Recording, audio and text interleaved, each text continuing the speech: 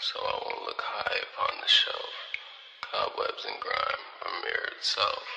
There's no white glove test for you. Deep down I know, so I refuse. And that's when I learned to never say whether it's real or a dream.